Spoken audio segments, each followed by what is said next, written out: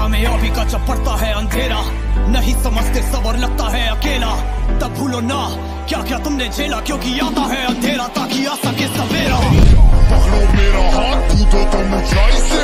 जाएँगे नीचे, नहीं और भी ऊंचाई पे। जहाँ पे जीत की पुकार भी सुनाई दे, इस बात की मेरी पूरी ज़िंदगी का गवाही है